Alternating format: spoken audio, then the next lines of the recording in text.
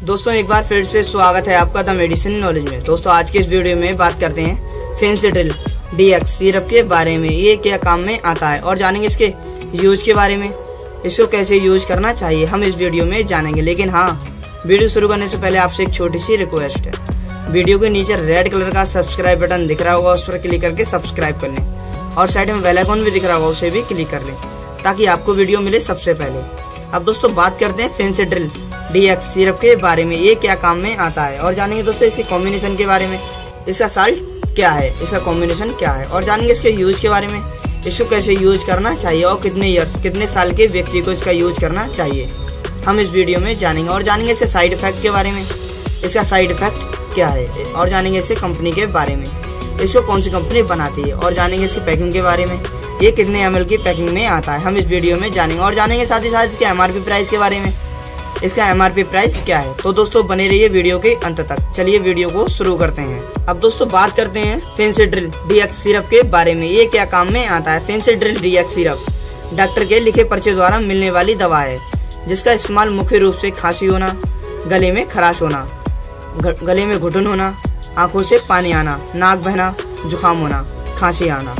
आप तो आपको ऐसे सवाल देखने को मिल सकते हैं। तो आप इस कंडीशन में फेंसिड्रिल डीएक्स सिरप का यूज़ हम कर सकते हैं। अब दोस्तों बात करते हैं फेंसिड्रिल डीएक्स सिरप के बारे के कॉम्बिनेशन के बारे में। इसका कॉम्बिनेशन क्या है? इसका साल्ट क्या है? इसका कॉम्बिनेशन है दोस्तों।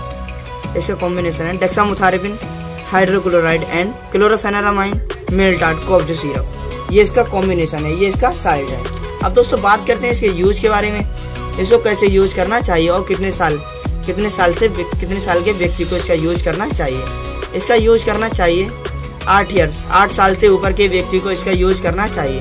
खाना खाने के बाद इसका यूज़ करना चाहिए। और बाकी का अपने डॉक्टर के सलाह अनुसार इसका सेवन करना चाहिए। अब दोस्तों, बात करते हैं इसके साइड इफ़ेक्ट के बारे में। इसके कुछ साइड इफ़ेक्ट भी देखने को मिले हैं। इसका साइड इफ़ेक्ट जैसे कि नोजिया होना एलर्जी होना, पूरी बॉडी पर छोटे छोटे दाने निकल आना वोमिटिक होना। तो आपको ऐसे सवाल देखने को मिल सकते हैं। तो आप समझ जाइए, आपको ये सूट नहीं हो रहा है। तो आप इसका यूज़ करना तुरंत ही बंद कर दें और आप अपने डॉक्टर से तुरंत ही सलाह लें। अब दोस्तों, बात करते हैं इसे कंपनी के बारे में। इसको कौन सी कंपनी बनाती है? इसको बनाती है दोस्तों manufacture in India Y. Evert health care and private limited company द्वारा इसको बनाया जाता है। और जान लेते हैं इसके पैकिंग के बारे में। ये कितने एमएल की पैकिंग में आता है? ये आता है दोस्तों, हंड्रेड। ये सौ ग्राम, सौ एम की पैकिंग में ये आता है। और जान लेते हैं साथ ही साथ इसके एमआरपी प्राइस के बारे में। इसका एमआरपी प्राइस क्या है? इसका मार्केटेड प्राइस है एक सौ पाँच रुपये अट्ठाईस पैसे। ये इसका एमआरपी प्राइस आपको ये सभी मेडिकल स्टोर पर मिल सकता है। आप इसको फेंसी ड्रिल डीएक्स सिरप के नाम से आप इसको सभी मेडिकल स्टोर से ले सकते हैं। आप इसको लेने के बाद आप अपने डॉक्टर से सलाह लें। वीडियो के बारे में आपका क्या कहना है कमेंट में ज़रूर बताएँ।